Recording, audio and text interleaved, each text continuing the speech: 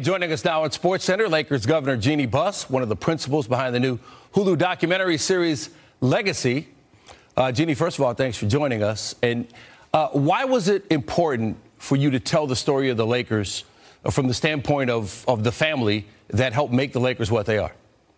You know, um, it, we're coming up on the 10 year anniversary from uh, when my father, Dr. Jerry Buss, passed away. And uh, just looking back and thinking about all the innovations he brought to the NBA, we felt that the story was worth telling. So this is actually seven years in the making. And we really wanted to highlight as well something that we'd never seen in sports before this really close relationship between ownership, Jerry Buss, and the star player, Magic Johnson.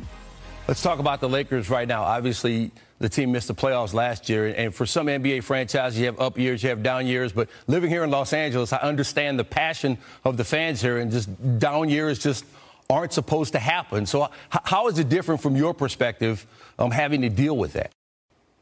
Um, you know, the the Laker fans have expectations, as they should.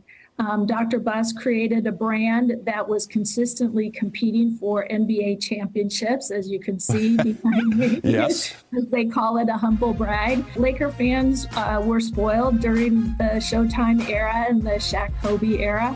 And we want to continue that legacy and, um, you know, add more championships, which we were able to do in 2020. You made some changes. Obviously, the centerpiece of the roster is Still LeBron James, I've seen you say that it's a priority that he retires as a Laker. He signed an extension.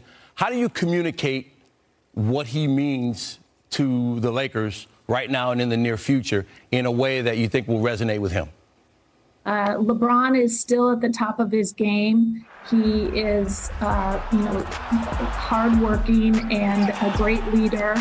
And, uh, you know, I'm just thrilled that he has extended his contract. Uh, we're going, going to look forward to him as he gets closer to breaking the all time scoring record held currently by Kareem Abdul Jabbar.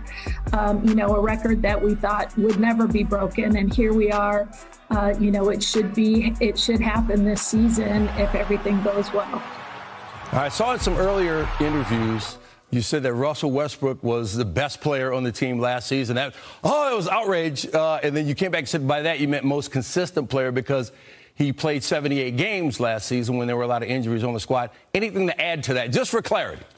Yeah, I mean, you know, I, I, lean into that. That's, you know, we needed players on the court that were healthy, and he was the most consistent player we had. He was, he worked hard, he showed up for every game, and I appreciate that in a player. And we, and hopefully we'll have a, a season where we'll actually get to see all of our big stars play together and be healthy and, and stay on the court.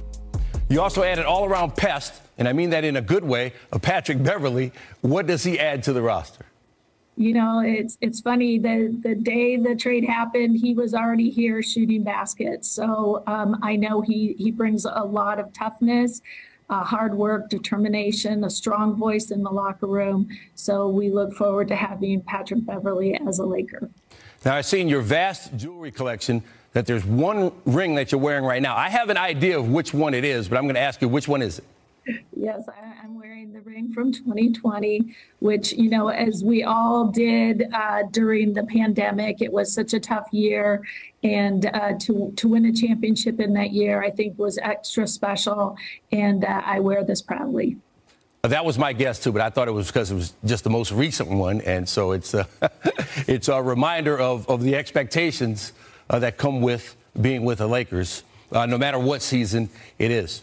Uh, we certainly appreciate having you on the show.